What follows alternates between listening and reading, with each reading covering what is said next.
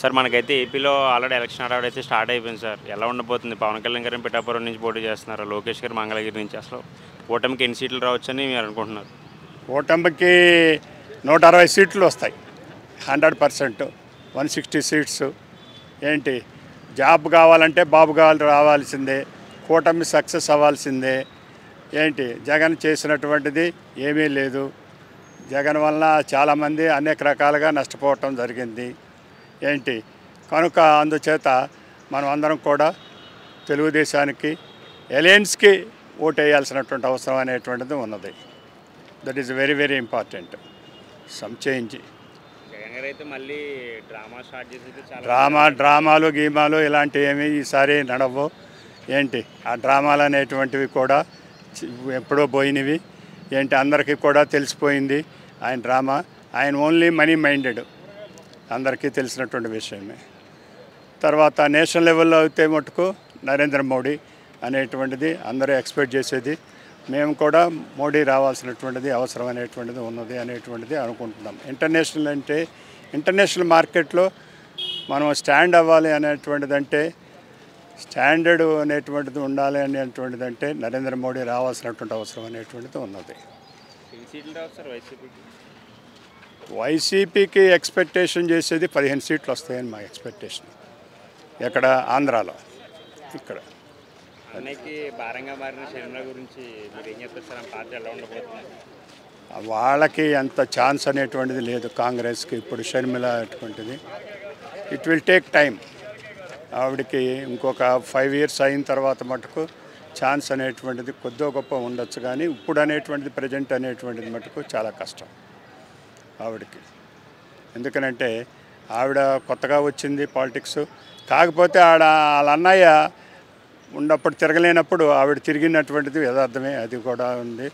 తర్వాత ఇప్పుడు వాళ్ళ ఫ్యామిలీలోనే వివేకానంద రెడ్డి మైనస్ పాయింట్స్ అనేటువంటివి జగన్ జరిగినటువంటిది. వాళ్ళ బాబాయిని చంపటం అనేటువంటిది అది ప్రజల్లోకి బాగా వెళ్ళిపోయింది. పర్టికులర్గా కోస్తల్ బెల్ట్ కంటే కూడా కడప ఆ రాయలసీమ ఏరియాలో బాగా ఎఫెక్ట్ అనేటువంటిది ఉంటుంది. మూడు రాజధానులు పోలవరం ప్రాజెక్ట్ ఏమీ కంప్లీట్ చేయలేదు కదా sir. Corona time two years తీసిన ఇంకా త్రీ ఇయర్స్ టైం ఉంది కదా. త్రీ ఇయర్స్ టైం కూడా ఆయన టైం అంతా వేస్ట్ చేశారు కదా. దాని మీ అభిప్రాయం ఏంటి సార్? పోలవరం ప్రాజెక్ట్ అనేటువంటిది చాలా ఇంపార్టెంట్ ప్రాజెక్టు. మేము కూడా చూసాము ఈ చంద్రబాబు నాయుడు గారు ఉంటే పోలవరం ప్రాజెక్టు కంప్లీట్ అయిపోయేది. అది మూడు రాజ్యంలో అమరావతి అనేటువంటిది సెంటర్ ప్లేస్. ఇప్పుడు హైదరాబాదు తెలంగాణకి ఎట్లా అయితే సెంటర్ ప్లేసో అదేవిధంగా అమరావతి అనేటువంటిది చాలా సెంటర్ ప్లేసు. ఈసారి బాబు గారు కనుక ఆ నెక్స్ట్ ఫైవ్ ఇయర్స్లో అప్పుడు కనుక ఓడిపోవాలంటే చాలామంది చాలా రకాలుగా బాగుపడేవాళ్ళు. ఇప్పుడు చాలా నష్టపోయారు. ఇప్పుడు ఇమీడియట్గా వచ్చినా కానీ ఇమీడియట్గా ఏంటి జరగటం అనేటువంటిది డెవలప్మెంట్ అనేటువంటిది ఫాస్ట్గా జరగటం అనేటువంటిది జరుగుతుంది కానీ అంత స్పీడ్ అనేటువంటిది ఉండదు. ఎందుకనంటే మనీ అనేటువంటిది లేదు. ఎక్కడ డిఫిసిట్ ఉన్నది. అన్నీ అప్పులు చేసిపోయాడు.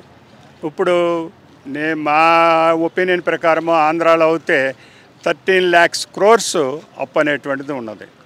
ఇప్పుడు ఇక్కడ అయితే తెలంగాణలో అయితే ఎయిట్ ల్యాక్స్ క్రోర్స్ అప్ అనేటువంటిది ఉన్నది. కనుక పర్ హెడ్ ఒక్కొక్క ఫ్యామిలీకి పదివేల నుంచి ఒక్కొక్క పర్సన్కి పదివేల నుంచి అప్ అనేటువంటిది వాటి తల మీద ఉన్నది. ఇప్పుడు మన ట్యాక్సుల రూపంలో కానీ ఇంకో రకం కానీ ఇంకో రకం కానీ అవన్నీ కూడా ప్రజలు కట్టాల్సిందే. గవర్నమెంట్ ఏమి ఎక్కడి నుంచి తీసుకు ఇవ్వదు. కనుక మనం ఏంటి మనం కట్టాల్సినటువంటిది ఈ రకంగా చేయటం అనేటువంటిది చాలా దారుణమైనటువంటి పరిస్థితి. ఎక్కడ ఇప్పుడు ఎంప్లాయీస్కి శాలరీస్ అనేటువంటిదే లేదు. అది అందరికీ తెలిసినటువంటి విషయమే. చాలామంది వాళ్ళ పిఎఫ్లు గిఎఫ్లు అందరూ ఇదివరకు యూనియన్ ఎంప్లాయీస్ మా యూనియన్ యూనియన్ అనేటువంటి ఇప్పుడు ఎవరు కూడా జగన్ టైంలో ఎవరు కూడా ఏం మాట్లాడినటువంటి పరిస్థితి లేదు. ఎందుకంటే ఆయన ఏమి డబ్బులు ఇవ్వటం లేదు జగన్ డబ్బులు ఇవ్వటం లేదు జగన్ ఉన్నటువంటి పిఎఫ్ లేదు వాళ్ళ ఉన్నటువంటి ఎంప్లాయీస్కి ఉన్నటువంటి అమౌంటే లాగేసాడు వాడు తీసేసుకోవటం అనేటువంటిది ఎంప్లాయీస్ చరిత్రలోనే ఇది లేదు. ఇంకా స్ట్రైక్ దాకా ఎక్కడ? అసలు శాలరీ జరిగితే చాలు ఫస్ట్ తారీఖు శాలరీ వస్తే చాలు అనేటువంటిది అనుకునేటువంటి పొజిషన్ అనేటువంటిది ఆ రకంగా వెళ్ళటం అనేటువంటి జరిగినటువంటిది విషయం.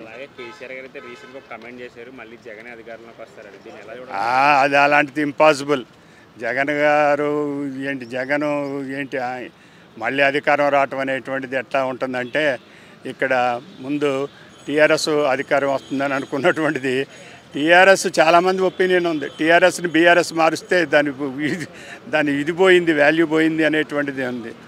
ఓడిపోయారు అనేటువంటిది దానికి చాలా కారణాలు ఉంటాయి. ఏంటి? కొంతమంది కొన్ని రకాలుగా మాట్లాడుతూ ఉంటారు.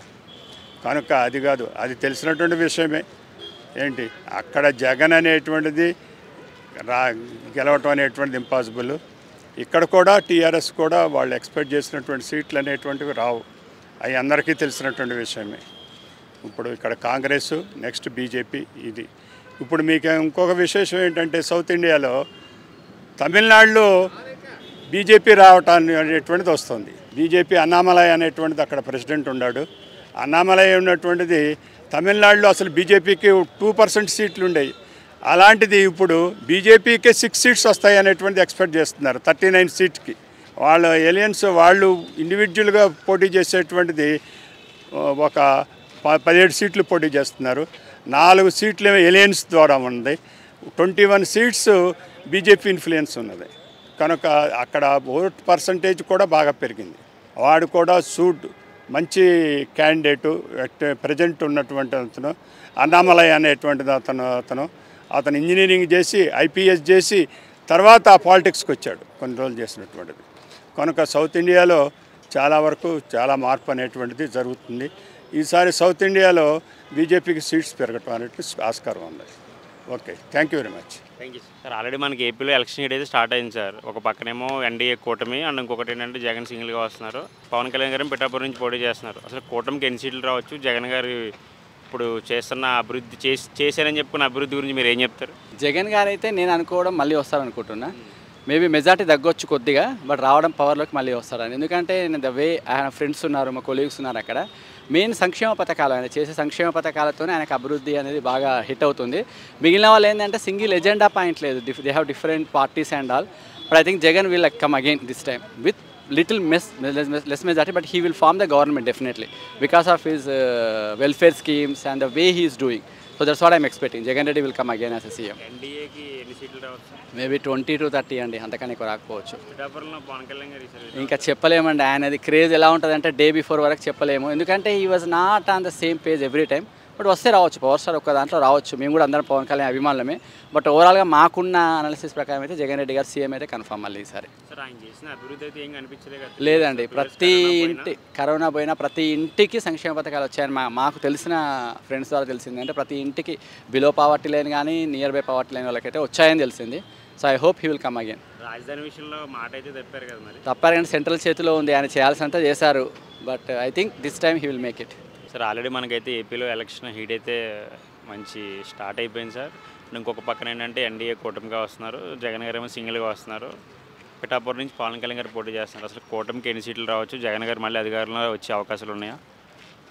అంత అనాలిసిస్ చేయలేదమ్మా మేము. కాకపోతే ఇప్పుడు పోటాపోటీ కింద వింటున్నాం కానీ చూడాలి మరి. అంత అవగాహన లేదు ఎవరు వస్తారనే దాని మీద.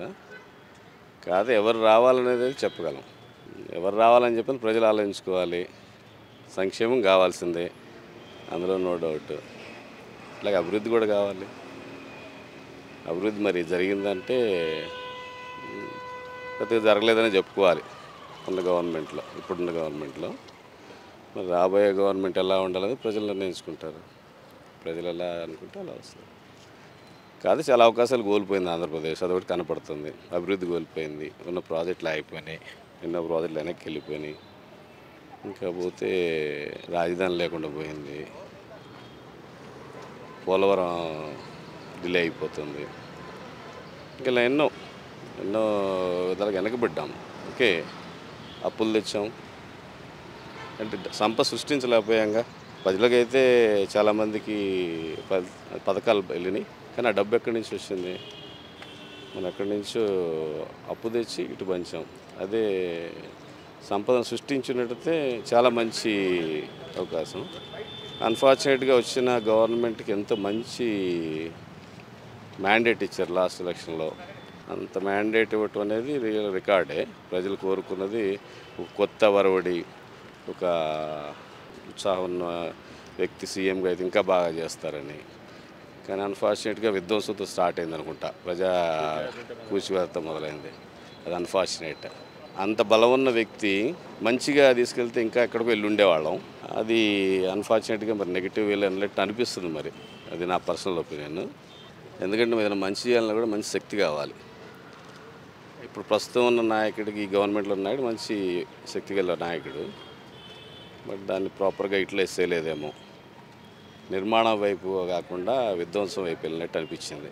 చూడాలి మరి నెక్స్ట్ ఎలక్షన్లో ప్రజలు ఎట్లా తీర్పిస్తారు? ఉదాహరణకి ఏంటంటే విజన్ ఉండాలి ఫస్ట్ లీడర్కి నాలెడ్జ్ ఉండాలి.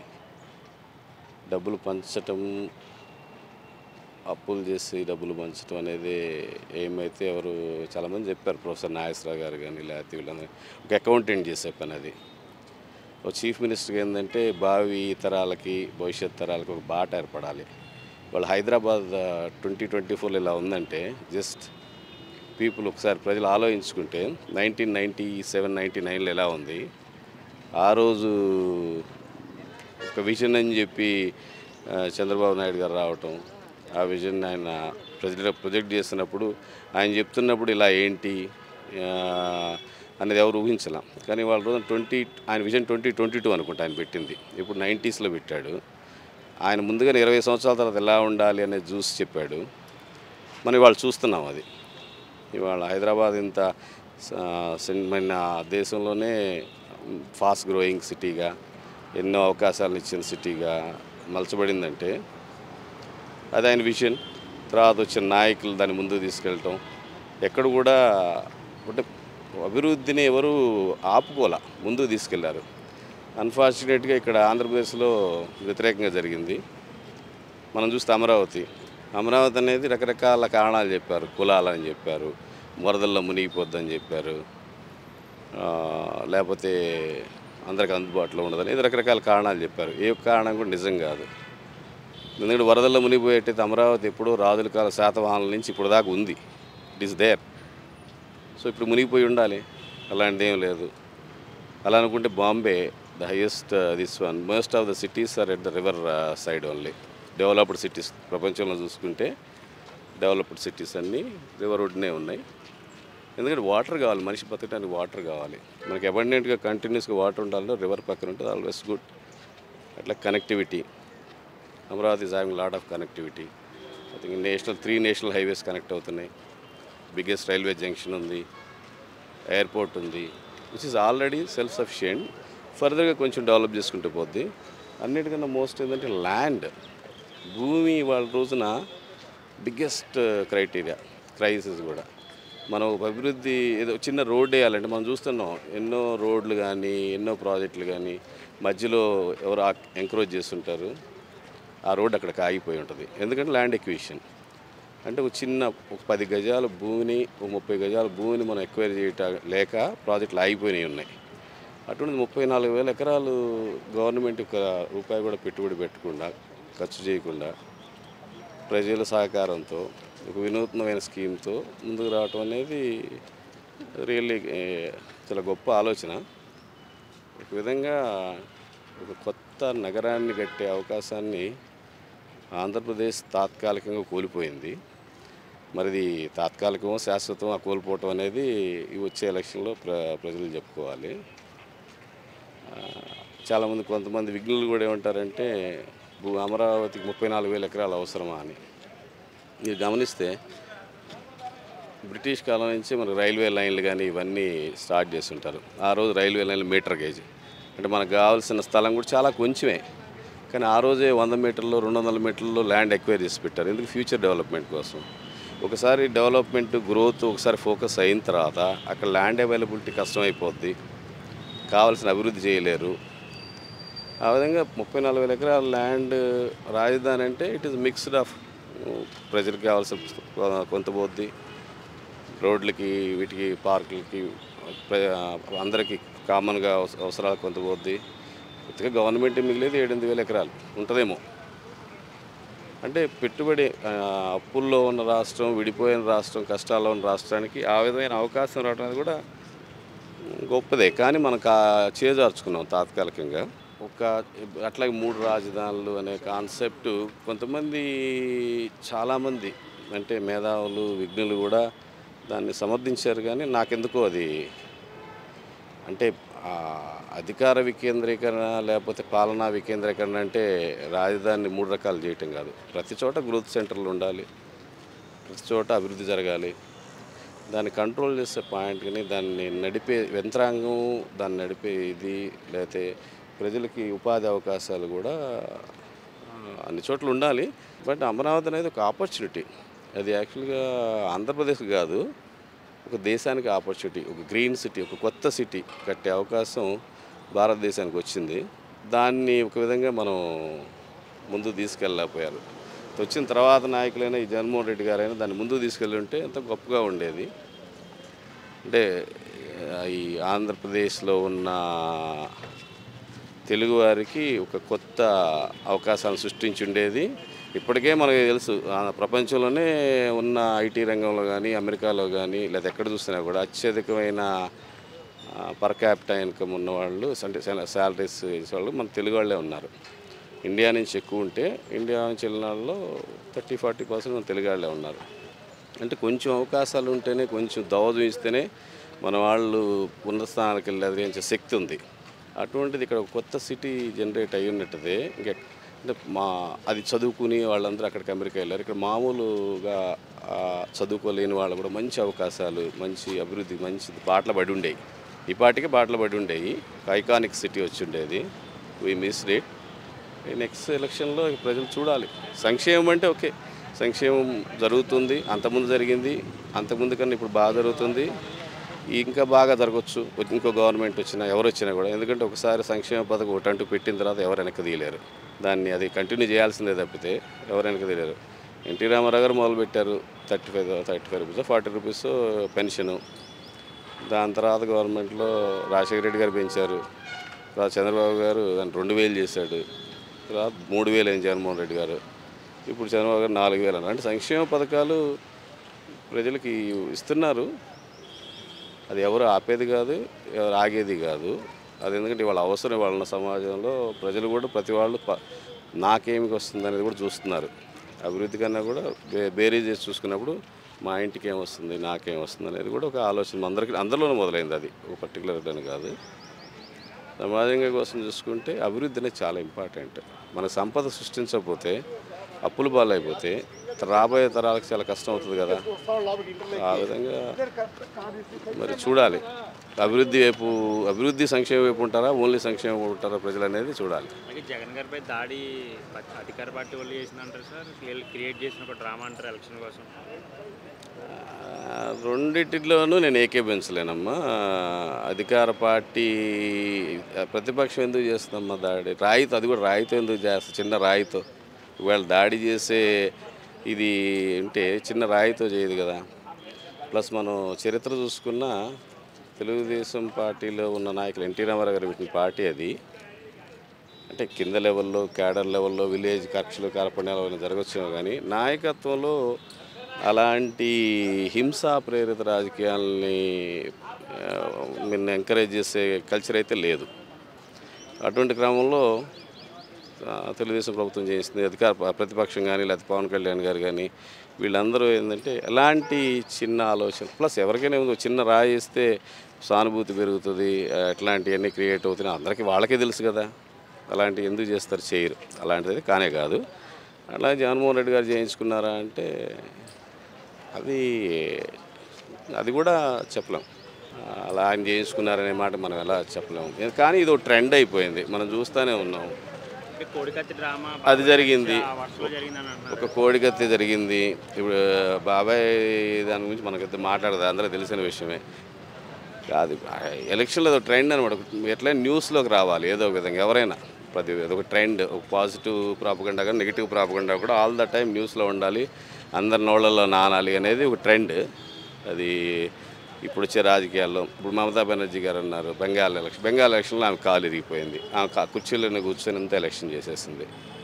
సో ఇది ఒక ఎలక్షన్ రింగ్లో ఒక భాగము. కాదు చేశారా చేయించు చేశారనే దానికి మాత్రం ఖచ్చితంగా అంటే ప్రతి ప్రతిపక్షం చేశారనే దానికి మాత్రం అది నేను ఏకీభించలేదు కానీ చేయించుకున్నారు దానికి కూడా నా దగ్గరికి ఆధార అంటే నాకేమి ఇదేం లేదు. దాని మీద అవగాహన లేదు. బట్ మనం చూసాం రెండు వేల పంతొమ్మిదిలో ఒక రాజకీయ నాయకుడు ఇక్కడ రాజకీయ నాయకుడు కొడుకు మంత్రి కొడుకు ఆయన సెల్ఫ్గా షూట్ చేయించుకున్నాడు. మీరు వెనక హిస్టరికల్ చూస్తే గూగుల్లో ఎత్తినా తెలిసింది రెండు వేల పంతొమ్మిదిలో ఆ కాంగ్రెస్ లీడర్ మంత్రి సెంట్రల్ మినిస్టర్ ఏమనుకుంటా వాళ్ళ అబ్బాయి పొలిటికల్లో గెయిన్ అవ్వాలని చెప్పి సెల్ఫ్ షూటింగ్ చేసుకున్నారు. అంటే సింపతి గెయిన్ చేయడానికి జరిగే యాక్షన్లో కొన్ని జరుగుతుంటాయి కానీ ఇది దానితో పోల్చదగ్గగా తెలియదు. చెప్పలేం. అలాంటి పోల్చదగ్గదా లేదా అనేది we are not aware. Sir మీ పేరు? రాజు. సార్. ఎన్ని సీట్లు రావచ్చు సార్ ఎన్డీఏ కూటమికి? సీట్లు ఎన్డీఏ కూటమికి ఎన్ని వస్తాయో చెప్పలేను కానీ ఆంధ్రాలో మాత్రం జగన్ వస్తాడు. జగన్ సీఎం అయితే. జగన్ సీఎం అవుతారు ఎందుకు సార్ మళ్ళీ జగన్ సీఎం అవడం కారణం? ఆయన చేసిన పథకాలు ఇవన్నిటిని బట్టి జగనే వస్తాడు. అభివృద్ధి లేదని చెప్పేసి ప్రజలైతే చాలామంది అంటున్నారు కదా. అంటారండి ఇప్పుడు ఎవరు ఎంత అభివృద్ధి చేసినా ఆపోజిషన్ అయితే అంటారు కదా. అట్లానే. రాజధాని విషయంలో పోలవరం రాజు విషయంలో మాట తప్పేసి అని చెప్పేసి అయితే చాలామంది టైం పడుతుంది కదా టైం పడుతుంది కదా. వచ్చే ఐదు సంవత్సరాలే చేసిండు ఒకటి ఆమె చేసిండు కదా. అయితే అది కూడా అయితే టైం పడుతుంది కానీ. సార్ మీకేమనిపిస్తుంది? అయితేనండి నేను చెప్తాను ఒక విషయం. ఏంటంటే యాక్చువల్గా ఈ రాజకీయాలుగా ఎన్ని పార్టీలు ఉన్నా ఎన్ని గ్రూపులు ఉన్నా మేమంతా ఒకటే. లో లోపల మేమంతా కలిసే ఉంటాం కలిసే పనులు చేస్తాం. అయినప్పుడు కూడా ప్రతి ఒక్క విషయానికి మనకి మనకి రెచ్చగొట్టే వాళ్ళు వెనకాతల నుంచి ఉన్నప్పటికీ కూడా అర్థం చేసుకొని ప్రతి విషయానికి ముందుకు దూసుకుంటూ పోతున్నాం. మనస్ఫూర్తిగా చెప్పాలంటే జగన్ చాలా మంచివాడు. ఆయన చిన్న పిల్లవాడైనా రాజకీయంగా చాలా ఎదిగాడు. తండ్రి పాలనలోనే ఆయన శక్తి ఉంది గుణశక్తి ఉంది మాట్లాడే కెపాసిటీ కూడా ఆయనకు ఉంది. అందుకోసం నేను తెలియజేస్తున్నాను అంతా కలిసే ఉందాం. రాజకీయంలోని ఏది కరెక్టో దాన్నే మనం సపోర్ట్ చేస్తూ ముందుకు పోవాలని నేను మనస్ఫూర్తిగా ప్రార్థిస్తున్నా భావిస్తున్నా. అది అన్నగారు చెప్పేశారు కాబట్టి ఇంకా నేను అదే చెప్పాలి. మరి చెప్పిందో చెప్పకూడదు కాబట్టి మీరు ఆలోచించాలి. సార్ ఆల్రెడీ మనకి ఏపీలో ఎలక్షన్ హడావిడి అయితే స్టార్ట్ అయిపోయింది. ఒక పక్కన పవన్ కళ్యాణ్ గారు పిఠాపురం ఎన్డీఏ కూటమిలో పోటీ చేస్తున్నారు. మనకి లోకేష్ గారు వచ్చి మంగళగిరి జగన్ గారు సింగిల్గా పోటీ చేస్తున్నారు. అసలు ఎన్డీఏ కూటమికి ఎన్ని సీట్లు రావచ్చు? మళ్ళీ జగన్ గారు అధికారంలోకి వచ్చే అవకాశాలు ఉన్నాయా? అందరూ కలిసి తిరుగుతున్నారు కానీ ప్రజలు డిసైడ్ అయిపోయారు తెలుగుదేశానికి వేయాలని చెప్పి. ప్రజలు ఏకపక్షంగా ప్రజల్లో ఉంది అది. ఇప్పుడు ఎన్డీఏతో స్నేహితం చేశామా తెలుగుదేశం పార్టీ పవన్ కళ్యాణ్తో స్నేహితం చేశారు ఇవన్నీ పక్కన పెట్టండి.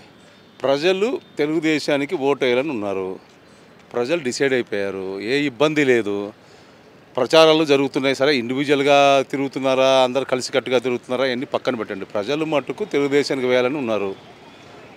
తెలుగుదేశం పార్టీకి ఏపీలో నూట ఇరవై నుంచి నూట ముప్పై సీట్ల వరకు రావచ్చు పక్కా. నేను అనుకుంటున్నాను. మీరు ఏం ఏం అడుగుతారండి మీరు ఇలాగా? ఎందుకు అడుగుతారో అర్థం కాదు. ఎందుకు గెలిచారండి? ప్రజలు బ్రహ్మరథం పట్టారు ఈసారి. నాయకుడినే గెలిపికపోతే ఎవరిని గెలిపిస్తారండి? చెప్పండి. మీరు అంత మీరు మీడియా వాళ్ళు అడుగుతూనే ఉంటారు ఇట్లా. లోకేష్ గారు కలుస్తారా పవన్ కళ్యాణ్ కలుస్తారా ఎందుకు కలిసారండి ఈసారి ఆ- ఆ ప్రజల్లో ఆ మార్పు కావాలని ఆ- ఉత్తేజంతో ఉన్నారు ప్రజలు. జగన్ గారిపై దాడి ప్రతిపక్ష పార్టీలో చేశారని చెప్పేసి ఆయన అయితే మళ్ళీ ఇవన్నీ తప్పులండి. ప్రతిపక్ష వారు ఇప్పుడు కామన్ ఒక ఒక ప్ర- ప్ర- ప్రజా ప్రజా మన- మనం ఏదన్నా ఒక మీటింగ్ జరిగేటప్పుడు ఎందరో వస్తారు మీటింగ్కు ఎవరెవరో ఏదో జరుగుతాయి. దాని మాత్రాన మీరు వేశారు మేము వేశారు ఇవన్నీ అపవాదులు. అనవసరంగా కల్పించే మాటలు ఇవి తప్ప ఏమి ఇవన్నీ ఆధారం లేని మాటలు. ఎలక్షన్ ట్రెండ్ అవును ఎలక్షన్ ట్రెండ్కు ఇవన్నీ కామన్ నడిపిస్తారు. పోయినసారి జరిగింది కాబట్టి ఈసారి కూడా అలా జరిగిందని ప్రజలందరూ అనుకుంటారు. అదే ఇప్పుడు మేము మేము నూట ఇరవై నుంచి నూట ముప్పై సీట్లు వస్తాయని మేము అనుకుంటున్నాం. ఇంకా వాళ్ళకి ఎన్ని సీట్లు వస్తాయి మీరే ఊహించాలా? వాళ్ళకి వస్తే ఒక నలభై నుంచి నలభై ఐదు సీట్లు వస్తాయని కనపడుతుంది మాకు. పవన్ కళ్యాణ్ గారికి ఎంత మెజార్టీ ఈ మెజార్టీలు చెప్పలేమండి అప్పుడే. గెలుపు పక్కా గెలుపు ఉంటుంది. మెజార్టీ చూద్దాం గాలి వచ్చింది మా గాలి నడుస్తుంది ఇప్పుడు. బాగా ఊపు ఉంటే ఎక్కడికో పోవచ్చు. ఎక్కడికైనా వెళ్ళిపోవచ్చు మెజార్టీస్. గాలి ఇప్పుడు తెలుగుదేశం గాలి కానీ ఆ రోజు జా- బాగుంటే మాది. యాక్చువల్ ప్రజల్లో గాలి ఉంది. ఏదో ఇప్పుడు ఏదో అనుకుంటారు అందరూ దీనివలన ఈ పథకాల వలన చాలా తప్పు. పథకాలు ఎక్కడికి పోవు.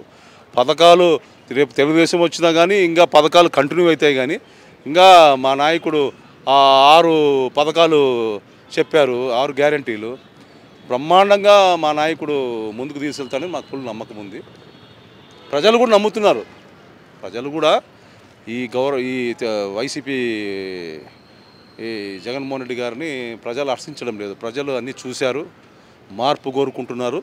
ఈసారి తెలుగుదేశం చంద్రబాబు నాయుడు గారు రావాలని ప్రజలందరూ ఎదురు చూస్తున్నారు. ప్రజల్లో ఈ ఈ ఈ ఫిఫ్టీన్ డేస్లో ఈ వన్ మంత్లోనే ప్రజల్లో ఏదో మార్పు వస్తుందనుకోవడం చాలా తప్పు. ప్రజలు డిసైడ్ అయిపోయారు. గవర్నమెంట్ మా మారడం ఖాయము. తెలుగుదేశం రావడం ఖాయము. దీంట్లో ఎటువంటి అనుమానం లేదు.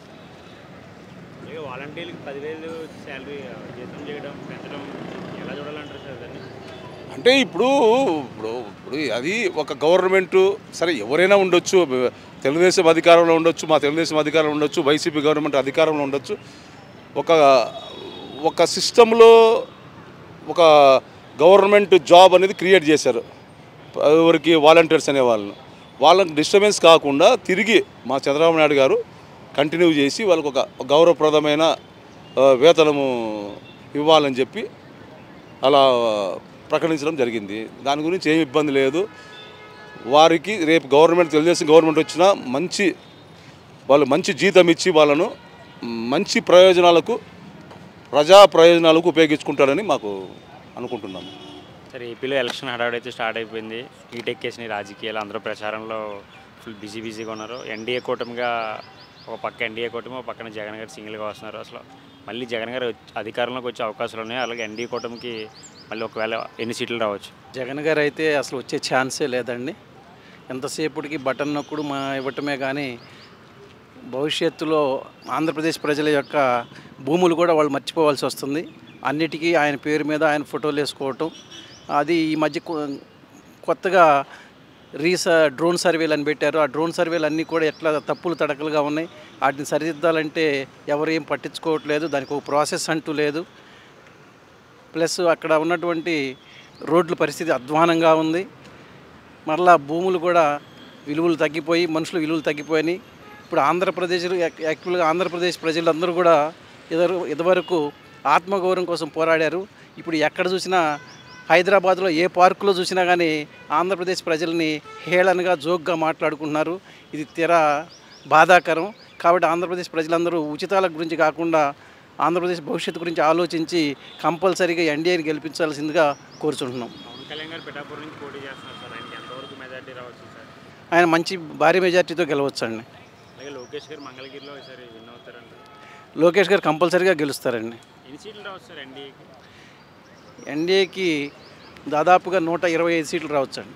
కేసీఆర్ గారు నేను మన ఒక లైవ్లో స్టేట్మెంట్ ఇచ్చారు కదా సార్ మళ్ళీ జగన్ గారి అధికారంలోకి వస్తారని. అది ఎలా తీసుకోవాలి సార్ మనం?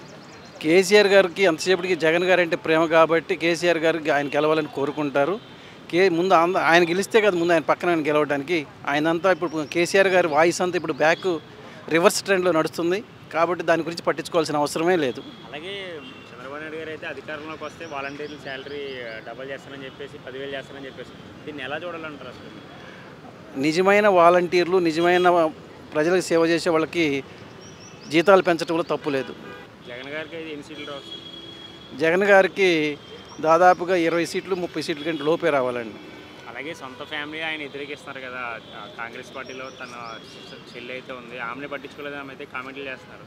అదంతా ఒక పొలిటికల్ డ్రామా అండి. అసలు ఆ కుటుంబాన్ని గురించి మనం మాట్లాడుకోవటం తక్కువ తక్కువ అండి. లాస్ట్ టైం చూసుకొచ్చి మన ఎలక్షన్స్ దాంట్లో కోడిగత్తి రామా అని ఇలా బాబాయ్ హెచ్ అని ఇప్పుడు చూస్తే రాయి తగిలి రాయి తగిలిందని ఇదంతా ప్రతిపక్షం వాళ్ళు చేశారని చెప్పేసి ఆయన అయితే మళ్ళీ బాగుపోతున్నారు కదా సార్. మళ్ళీ దీన్ని ఎలా చూడాలంటారు ఒకసారి? ఇవన్నీ పొలిటికల్ డ్రామాలండి. ఎంత పొలిటికల్ డ్రామా జస్ట్ ఆ గు గులకరా ఒక పెద్ద దానికి పెద్ద ఆపరేషన్ చేసినట్లుగానో ఏదో చేసినారు కదా అదంతా డ్రామా దాని గురించి అసలు మాట్లాడాల్సిన అవసరం లేదు. కంపల్సరీగా రావాలండి. ఆంధ్రప్రదేశ్ బాగుపడాలంటే రావాల్సిందే. ప్రతి హైదరాబాద్లో ప్రతి పార్కులో కూడా ఆంధ్రప్రదేశ్ ప్రజల గురించి హేళనగా మాట్లాడుకున్నారు. ఇది ముందు ఆలోచించండి అందరూ. తెలంగాణ ఉంటూ కూడా అదే తెలంగాణ గురించి మాట్లాడుకోరు. ఆంధ్రప్రదేశ్ పాలిటిక్స్ గురించి పార్కుల్లో హేళనగా మాట్లాడుకుంటున్నారు. ఈసారి ఏపీ ఎలక్షన్స్లో మోస్ట్లీ కూటమి గెలిచే అవకాశాలే కనపడుతున్నాయి. ఎందుకంటే వాళ్ళందరూ ఒక అలయన్స్గా వస్తున్నారు కాబట్టి. ఎలక్షన్ అర్థమెటిక్ ప్రకారం వాళ్ళకందరికీ ఇంతకుముందు కలిసి పోటీ చేయలేదు కాబట్టి ఓడిపోయినట్టున్నారు. ఆ పర్సంటేజ్ ఆఫ్ ఓట్స్ ఈసారి కలవడానికి అవకాశం ఉంది. సో ప్రజలు కూడా ఆ క- ఏదైతే కలయిక ఉందో ఆహ్వానిస్తున్నారని అనుకుంటున్నాను అవును. తప్పకుండా మంచి మెజార్టీతోనే గెలుస్తారండి. తప్పకుండా మంచి మెజార్టీతోనే గెలుస్తారు. ఆల్మోస్ట్ ఒక థర్టీ థర్టీ ఫైవ్ సీట్స్ రావచ్చు. జనరల్ టాక్ వచ్చేసి పబ్లిక్లో అయితే ఇంతవరకు అభివృద్ధి అనేటువంటిది అయితే జరగలేదని ఈవెన్ వైఎస్ఆర్సీపీకి సంబంధించిన వాళ్ళు కూడా ఒప్పుకుంటారు. బట్ ఓన్లీ థింగ్ ఏంటంటే పైసలు అయితే పంచుతున్నాడు. సంక్షేమ కార్యక్రమాలు అయితే ప్రతి ఒక్కరికి అందుతున్నాయి. సో ప్రతి సంక్షేమ కార్యక్రమాలు ఎవరికైతే అందుతాయో వాళ్ళు ఓట్లు వేసినా కూడా నేను గెలుస్తాను కదా అన్నటువంటి ఒక అభిప్రాయంలో ఉన్నారు. బట్ మనం ఇంతవరకు ఒక ట్రాక్ రికార్డు తీసుకుంటే సంక్షేమ పథకాలు ఎవరైతే అమలు చేశారో వాళ్ళు మాత్రమే గెలవడానికి అవకాశం లేదు. సో ఇంతకు ముందు కూడా చంద్రబాబు నాయుడు చేశాడు అంతకంటే ముందు కూడా చాలామంది చేశారు కానీ ఓడిపోయారు. సో అభివృద్ధి ఫలాలు కూడా అవసరము అనేటువంటిది ప్రజలు ఆలోచిస్తున్నారని అనుకుంటున్నారు అలాగే చంద్రబాబు నాయుడు గారు వాలంటీరు టీడీపీ ఎన్డీఏ కూడా అధికారంలోకి వస్తే వాలంటీర్ శాలరీ ఐదు వేల నుంచి పదివేలు పెంచుతామని చెప్పారు. దీన్ని ఎలా చూడాలంటారు మీరు? వాలంటీర్ శాలరీ పెంచడం మంచిదే కదా. సో వాలంటీర్ వర్క్ యాక్చువల్గా బాగానే ఉంది. వాలంటీర్ వ్యవస్థ అనేటువంటిది చాలా బాగుంది. బట్ వాళ్ళతో చేపించే పనులే బాగలేవు అనేటువంటిది అనుకుంటున్నాం. బట్ వాలంటీర్ వ్యవస్థ చాలా బాగుంది. అది ఎవరు పెట్టినా జగన్ పెట్టినా ఎవరు పెట్టినా దాన్ని మెచ్చుకోవాల్సింది. అలాగే తెలంగాణ మాజీ ముఖ్యమంత్రి కేసీఆర్ గారు అయితే కమెంట్ చేశారు మొన్న మళ్ళీ జగనే అధికారంలోకి వస్తారు ఏపీలో అని దీన్ని ఎలా చూడాలంటారు మీరు? ఆయన రావడం ఈయనకి ఇష్టం కాబట్టి అంటుండొచ్చు అంతే కదా. ఆయన రా ఆయన వస్తే బాగుంటుందని ఆయన అనుకుంటాడు. సో ఆయన ఆయనదే ఆయన చెప్పిన ఆయన కూడా అన్నాడు నేనే ఈసారి ముఖ్యమంత్రి అవుతాను ఆయన కాలేదుగా. ఎవరి అభిప్రాయం వాళ్ళది. సరే ఆల్రెడీ ఏపీలో అయితే ఎలక్షన్ హడావుడి స్టార్ట్ అయిపోయింది. మొత్తం హీట్ రాజకీయాలు అయితే. ఒక పక్కన ఎన్డీఏ కూటమి ఒక పక్కన జగన్ గారు ఏమో ఒంటరిగా వస్తున్నారు. పవన్ కళ్యాణ్ గారు పిఠాపురంలో పోటీ చేస్తున్నారు. అసలు ఎలా ఉండబోతుంది సార్ ఈసారి ఎలక్షన్? జగన్ నెంబర్ వన్ సింహం. జగన్ తిరుగులేదు. ఎంతమంది పవన్ కళ్యాణ్లు కలిసినా చంద్రబాబు నాయుడు కలిసినా మహాకూటములు కలిసినా ఆయనకు తిరుగులేదు ఒక్క సీటు కూడా మహాకూటమికి రాదు. ప్రజలకు ఏం కావాలి పేదవాళ్ళకు ఏం కావాలి విద్యార్థులకు ఏం కావాలి వితంతువులకు ఏం కావాలి పెన్షన్లు కానీ ప్రతి ఒక్క సంక్షేమ పథకము ఇంటింటికి అందిస్తున్నాడు జగను. ఇంకా ఇంకేం కావాలి అక్కడ? చంద్రబాబు నాయుడు గెలిచిండనుకో సంక్షేమ పథకాలు అన్నీ పోతాయి. వాలంటీర్లు అందరూ పోతారు. ఆయన చెప్పినవన్నీ అబద్ధాలు మోసము. పద్నాలుగు సంవత్సరాల ముఖ్యమంత్రి ఏం చేసిండు? ఇవాళ నెంబర్ వన్ చేసిండు. జగన్మోహన్ రెడ్డి నెంబర్ వన్ ఉన్నాడు. పేద ప్రజలకు ఏం కావాలా? ఈ చంద్రబాబు నాయుడు వస్తే సింగపూర్ని మలేషియాని ఆ విజయవాడని అమెరికాని చేస్తూ అంటాడు. గుంటూరుని మలేషియాని చేస్తూ అంటాడు. అవన్నీ మలేషియాలు చేస్తే పేదవాళ్ళకు సంక్షేమ పథకాలు ఉంటేనే కదా తిండి విద్యార్థులకు మళ్ళీ విద్యా దీవెన కానీ ప్రతి ఒక్కటి అందిస్తున్నాడు కదా. హ్యాట్రిక్తో గెలుస్తున్నాడు నెంబర్ వన్ అంటున్నారు బాగానే ఉంది. రెండు సంవత్సరాలు కరోనా తీసినా మూడు సంవత్సరాల్లో పోలవరం ప్రాజెక్ట్ కంప్లీట్ చేయలేదు. అసలు రాజధాని ఇప్పుడు వరకు తెలియదు కదా. పోల? పోలవరం ప్రాజెక్టు కరోనా వల్లనే కొంచెము పోలవరం డీల పడింది మనకు కేంద్రం కూడా మా ఏపీకి ఏం సాయం చేయలేదు. అయినా కూడా ఆ కరోనాలో కూడా ప్రతి ఒక్క గ్రామానికి ప్రతి ఒక్క ఇంటికి పోయి డాక్టర్లను పంపించి ప్రతి ఒక్కరికి హెల్ప్ చేసిన ఆ, మహానాయకుడు మన జగన్మోహన్ రెడ్డి. అటువంటి నాయకుడు కరోనాలో కూడా ఆయన పెన్షన్ ఆపలే ఆటో వాళ్ళకి ఆపలే ప్రతి ఒక్కటి ఏ పథకమైనా ఆపిండా? నెంబర్ వన్ చేస్తున్నాడు. అదంటే కేంద్రం హెల్ప్ చేయాలా? ఆ కేంద్రం కూడా హెల్ప్ చేయాలి. అయినా కూడా పోలవరం ఆపకుండా నడిపించుకుంటూనే వస్తున్నాడు. బటన్ నొక్కితే సరిపోదు కదా అభివృద్ధి ఉండాలని చెప్పేసి ప్రజలు అంటున్నారు కదా. ప్రతి ఒక్కటి బటన్ నొక్కి డైరెక్ట్ సంక్షేమ పథకాలు పేదవాని ఇంటికి అందేలాగానే ఆయన పెట్టిండు బటన్ నొక్కిండు. అంతకుముందు చంద్రబాబు నాయుడు ఏం చేస్తున్నాడు ఒక ఈ ఈ ఈ తెలుగు తెలుగు మహిళల దగ్గర వల్ల తెలుగు ఎమ్మెల్యేల దగ్గర వల్ల మేము పేదవానికి ఏమైనా అవసరం ఉంటే ఏ జాబ్ అవసరం ఉన్నా ఏ విద్యార్థికి ఏ ఆపద ఉన్నా ఎమ్మెల్యే దగ్గర వల్ల పథకం తీసుకున్న ఏదైనా సంక్షేమ పథకం ఉంటే. ఇవాళ డైరెక్ట్ మన ఇంటికే వస్తున్నాయి కదా ఎమ్మెల్యేలను పక్క పెట్టేసి డైరెక్ట్ అటాక్ జగన్మోహన్ రెడ్డి పేదవాళ్ళు పబ్లిక్ జగన్మోహన్ రెడ్డి కదా. మధ్యలో ఏ ఎమ్మెల్యే డీలర్ లేడు కదా బ్రోకర్లు లేరు కదా. ఎమ్మెల్యేని పక్క డైరెక్ట్ ఇంటింటికి ప్రతి ఒక్క రేషన్ కానీ వితంతువుల పెన్షన్ కానీ మరి ప్రతి ఒక్కటి అవ్వతాతల పెన్షన్లు కానీ అమ్మ ఒడి కానీ ఎన్నో వైఎస్ఆర్ సంక్షేమ పథకాలు ప్రతి ఒక్కటి ఇంటింటికి అందించినాడు. ఈ ఈ చంద్రబాబు నాయుడు లెక్క విజయవాడని నేను సింగపూర్ని చేస్తాను మలేషియాని చేస్తాను అనుకుంటూ టైం టైంపాస్ టైం పాస్ చేయలే కదా ఆయన. ప్రతిరోజు ఆయన ఏనాడు కూడా ఇంటికి నిద్రపోకుండా ప్రతి గ్రామానికి ప్రతి పథకాన్ని ఏదో ఒక పథకం పేదవాళ్ళకి చేసుకుంటేనే వర్క్ చేసుకుంటే నెంబర్ వన్గా ఇవాళ ఇవాళ ఇండియాలో నెంబర్ వన్ ముఖ్యమంత్రి అంటే జగన్మోహన్ రెడ్డి. కాదు కోడికత్తి డ్రామా లాగా ఇది కూడా ఒక డ్రామా ఎలక్షన్ ముందు స్టంట్ అని చెప్పేసి అన్నారు. అది కోడికత్తి డ్రామా ఆయనకి ఏం అవసరం? జగన్మోహన్ రెడ్డికి రాళ్ళతో కొట్టించుకునేంత అవసరం ఏమొచ్చింది ఆయన ఆయనకు ఆ చిన్న చిన్న చిల్లర పనులు ఆయన ఆయనకు లేవు ఇప్పుడు. ఆయన ఒక మహానాయకుడు ఆయన. ప్రతి ఒక్క లక్షల మంది ఇవాళ ఆయనకు ఆయనకు అసలు తిరుగులేదు అక్కడ. ఏదో చిల్లర నా కొడుకు రాళ్ళు కొట్టినంత మాత్రమే ఆయన సింహం వెనక్కిపోదు సింహం ముందు పోతుంది రాళ్ళు కొట్టినా ఏ కొట్టినా ఇంకా హ్యాట్రిక్తో గెలుస్తాడు. ఈయన మహానాయకుడు చూడు వాళ్ళ తండ్రి కంటే పది రెట్లు ఎక్కువ ఉన్నాడు. జగన్మోహన్ రెడ్డి వాళ్ళ నాయన కంటే పది రెట్లు ఎక్కువ సంక్షేమ పథకాలు చేసినాడు ఆంధ్రలో. ఎవరన్నా ఏమన్నా రాయి కొట్టని ఏలు కొట్టని ఏమన్నా ఒక్కరన్నా వాడిని రాయి కొట్టినని ఏమన్నా అన్నాడా?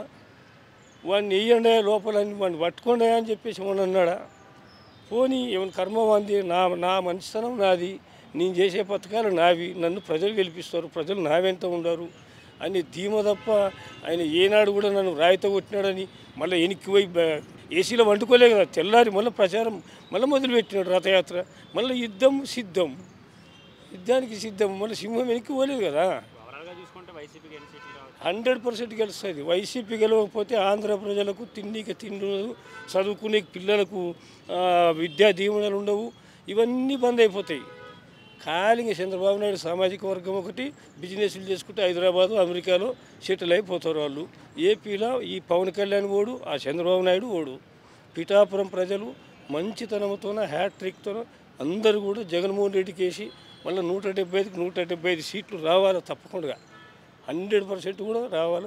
హ్యాట్రిక్ జగన్మోహన్ రెడ్డికి హ్యాట్రిక్ సంతోషం హ్యాపీ. జై జగన్ జై వైఎస్ఆర్. హిందీపురంలో బాలయ్య బాబు రాడు. మా బీసీ మా కుర్మ మహిళ మా యాదవ్ వస్తుంది. ఈ బీసీ బీ మా బీసీ మహిళ వస్తుంది. ఈ ప్రతిసారి ఇదిసారి ఉండే. ఏ- ఎన్టీ రామారావు మీద అభిమానంతో రెండు మూడు సార్లు గెలిపించినాము. ఈసారి గెలవాడు ఆయన. ఆయన ఏమి ఎందుకు గెలుస్తాడు ఆయన? మా బీసీ మహిళ నెంబర్ వన్ ఇంటి ఇంటి ఊర్లోనే ఉంటుంది. ప్రతి ఒక్కరికి మాకు ఏం కావాలో అవి ఆమె చూస్తుంది. మంచి మనిషి మంచి చదువుకుని అది ఎందుకు done. Only one Jagan Jagan Jagan Jagan. Jagan target చేసేది అయిందా మీ సిద్ధాంతాలు ఏంటివి?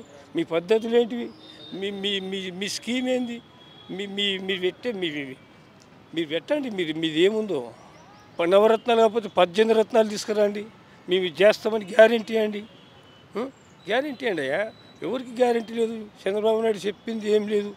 ఇలా ఫ్రీగా ఇస్తా అంటున్నాడు. ఎక్కడికి వెళ్ళి ఇస్తాడు? ఫ్రీ అరవై లక్షల మందికి ఫ్రీగా ఎక్కడికి వెళ్ళి గ్యాస్ ఇస్తాడైనా ఏం తెస్తాడు? ఈయననే ఎన్నో లక్షల కోట్ల అప్పులు ఉన్నాయి. జగన్మోహన్ రెడ్డి చేసినాడని ఇప్పుడే అంటున్నారు. మళ్ళీ ఇవన్నీ ఫ్రీగా ఇస్తే మళ్ళీ అప్పులు కావా? అప్పులు కావా అండి? ఎవరు చెవులో పువ్వు పెట్టడానికే చూస్తున్నాడు కానీ చంద్రబాబు నాయుడు. చంద్రబాబు నాయుడు గెలిస్తే ఆంధ్రప్రదేశ్ అది బేకార్ అయిపోతుంది అందరికీ ఆంధ్రప్రదేశ్లో తిండికి తిండి ఉండవు నీళ్ళు ఉండవు ఆయన గెలిస్తే వర్షాలు రావు రైతులకు కూడా పంటలు రావు. జగనన్న గెలిస్తేనే ప్రతి ఒక్క ఇంటికి సంక్షేమ పథకాలు పేదవాళ్ళకు అందే పథకాలు.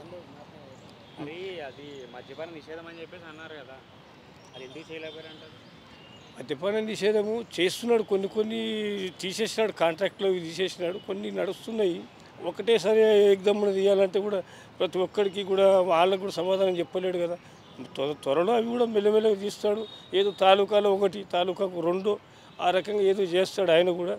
చేయాలి మంచి పని కోసం చేయాలని ఆలోచిస్తున్నాడు తప్ప చెడు పని కోసం ఆలోచించి నేను ఇది సింగపూర్ని చేస్తాను నేను కాపులకు ఏదో వాళ్ళ హక్కులు తెస్తాను వాళ్ళకేమో కోట్ల రూపాయలు నేను ఇస్తానని అబద్ధాలు చెప్పే నాయకుడు ఆయన కాదు.